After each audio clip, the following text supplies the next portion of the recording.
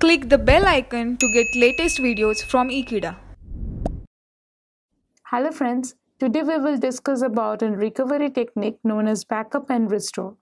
When to backup the data for, to a main memory to a secondary storage and how to restore the data from this backup to the actual disk.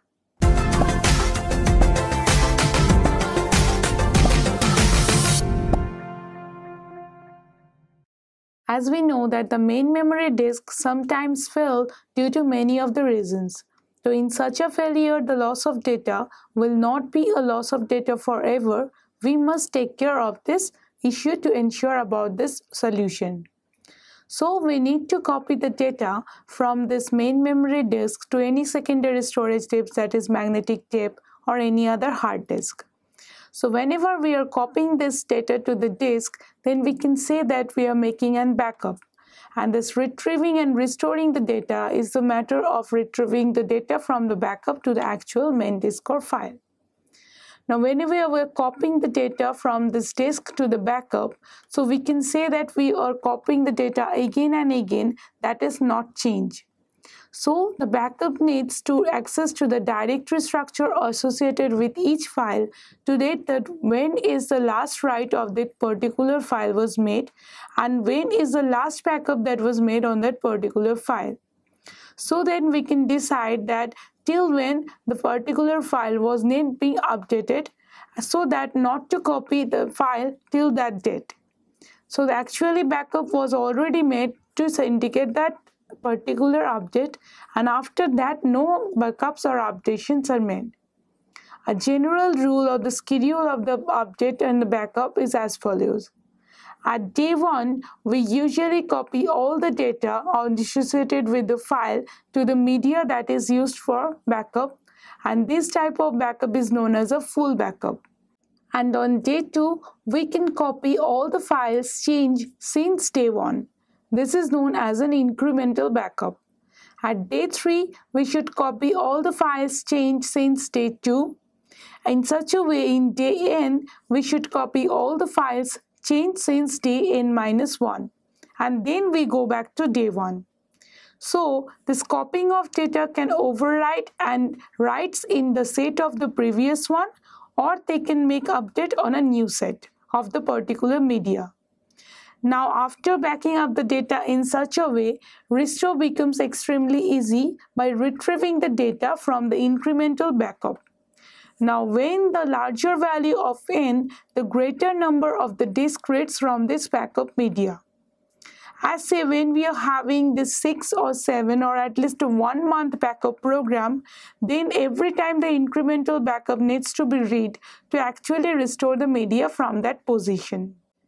An additional advantage of this backup cycle is that we can delete and retrieve an accidentally deleted data during the cycle by retrieving the data from the previous backup that was made previously that day. So in this way, the backup cycles can give us the important update about the particular data. Now, whenever we're talking about backup and restore, then we must have to take care to ensure that all the files are restored in order.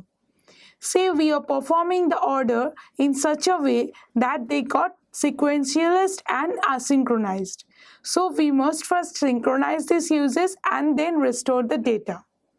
So we do not need to copy all the data since it not have been updated. If it is updated and modified, then all the files we need to copy.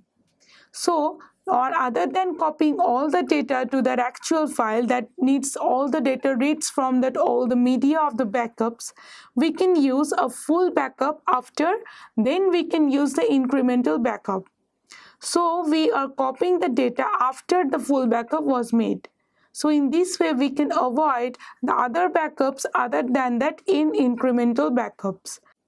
Here we are using one incremental backup associated with a full backup to restore the particular media in order to reduce the disk seek time as well as the memory access time of that particular backing up and restoration system.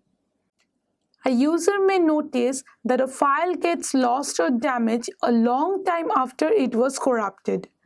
So in that case, we need to get full backup after a selected session that we can be done on that particular file system.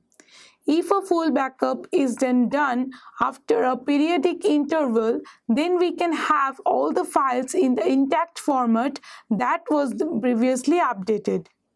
So here, in case of a fire that just wears out all the computer system, we can have the data that was already backed up previously between a gap of the full backup and an incremental backup. So this periodical full backup will help us if the computer system gets damaged. So from them, we can have the actual data. Other than this type of physical damage, we have to also ensure that reusing the same media is not done because the comparison between the restore and this particular backup system can happen and the backup length is a compromise between the amount of the data needed to backup and the number of the reads that is being done to restore. So to reduce the number of the reads, we must compare this data that only the files that is being changed, still the full backup is done. We are only updating the new backup media. So the reuse of the media, then the media will get weared out and we may not be able to actually restore any data because the media was lost or damaged. So these precautions must be taken care when we are talking about restoring the data from the backup. That is all for the backing up and restore as a recovery technique. Thank you for watching this video. Stay tuned with Ekeeda and subscribe to Ekeeda.